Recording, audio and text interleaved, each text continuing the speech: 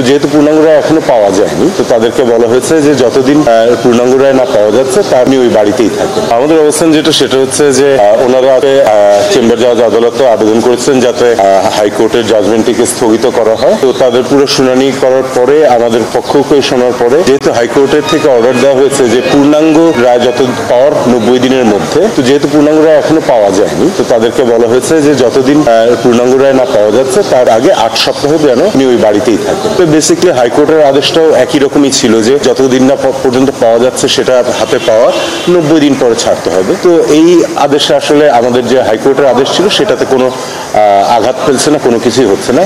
ওনাকে ওই পূর্ণাঙ্গ রায় পাওয়ার নব্বই দিনের মধ্যে বাসা ছাড়তেই টাকা সুপার ওয়াইটি চলছে টু ইন ওয়ান অফার। যে কোনো প্যাক কিনলে পাচ্ছেন সিঙ্গার ওয়াশিং মেশিন জেতার সুযোগ।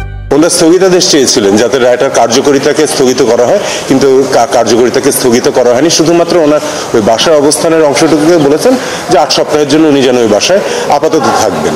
তারপর জাজমেন্ট যখন আসবে, তার নব্বই দিন পরে তাকে ছাড়তে হবে। তার আগেই তো আট সপ্তাহ আশা করি পার হয়ে যাবে। না, আট সপ্তাহের জন্য।